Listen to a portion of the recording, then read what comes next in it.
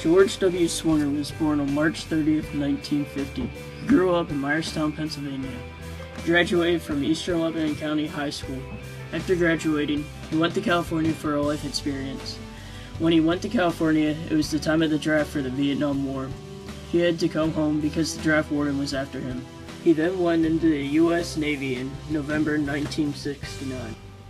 Well, I thought if I would ever be in the service, it would be naturally in the Navy because I said, said about my brothers, uh, they were active Navy men. Uh, I think at the time in the 60s, you know, when I was growing up, it was pretty much a given. You know, we had Vietnam going on and on and on. And uh, if you didn't go to college or you were definitely or had some sort of physical problem, you were going into service and you were going to end up in Vietnam. So it, it wasn't up to me. You know, it was just part of the deal. Once he joined the Navy, he had gone through boot camp.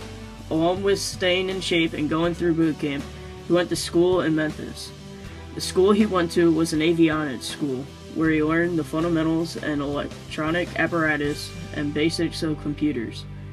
In this time period, which was the late 60s, early 70s, there was something called a Fortran computer, in which Swanger learned how to operate.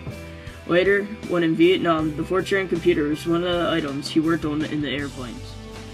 His first trip to the WestPacs was in 1971. He was 21 years old at the time. They traveled on an aircraft carrier known as the USS Constellation. I really didn't know what I was getting into uh, at all. Uh, we had uh, there's something called carrier qualifications, and that happens off the coast of California, where you everybody practices and gets ready, and the pilots get ready. There's interaction with everybody and make sure the ship works and, and everything goes smoothly.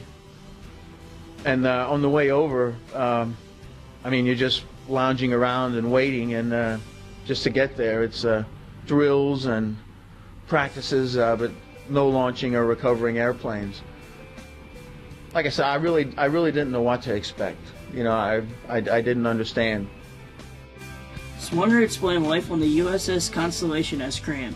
The ship was big. There were 4,800 to 5,000 people on it. The sleeping arrangements were very close together. There was one guy sleeping a couple inches off the floor, and another in the middle, and one on top. There was about five feet from top to bottom. George Swanger also shared with us that the food was really good. You could get something to eat 23 hours of the day. You could get breakfast anytime. There were two galleys. The front one served breakfast in the morning, and the one in the back of the ship served it at night. He recalls for breakfast they had ham and eggs and chipped beef on toast. He says the crew always knew when it was Saturday, because on Saturday evenings there was steak and lobster for dinner. During his work hours, Swanger had to wear different equipment. First of all, they had to wear a helmet. Their helmet had either their name or initials on them, so that they could be uh, easily identified. Also, each work group wore a different colored shirt. George had to wear a green shirt because he did maintenance work. The plane captains wore brown, the refuelers wore purple, the bomb loaders and firemen wore red, the tie-down people wore blue, the plane directors wore yellow, and the first aid people wore white with a red cross. The shirts were made of cotton, they were long sleeves with turtlenecks. Before the launch and recovery cycle, the airboss would come over the loudspeaker and tell everyone to put on their equipment. On the ship, Swanger worked as an avionics and electronics troubleshooter. His job took place between launches. He had to plug the airplanes into auxiliary power, get the computers up and running, and make sure that the systems that he was responsible for worked. After recovery, he would interview the pilots and find out if all the systems worked. If they worked, he could give his superior an okay. Swanger worked on the control unit in the cockpit. He also worked on an import device called an ADI. The tools he needed to do this work were a socket set and a speed handle. Swanger was part of the VA 146 group, which was a light attack unit of Carrier Group 9. In this group, there were about 30 avionics people and 20 electricians. There were about 240 total people in his squadron. Among them, there were 14 airplanes. Overall, there were about 5,520 people in the ship. Some of the men down below never saw daylight unless they made an effort to. Down below, there were stores. There was a barbershop, two galleys, and two small grocery stores, and two small shopping stores. When the ship was overseas, there were around 70 planes, airplanes on the ship. There were about five or eight planes that weren't the best flyers and that were left on the Philippines. There, there were 65 that were actually ready and capable to fly. There were about six or seven different types of planes on the ship. There was a helicopter squadron. Swanger worked on A-7E planes. There were about 28 of those. Every day during combat, they would launch 12 times and recover 12 times. 6 in the morning to 6 in the evening was regular operating hours. The one day when a plane was coming in, they had to rig the barrier, which is like a safety net. Practiced this in case it would happen.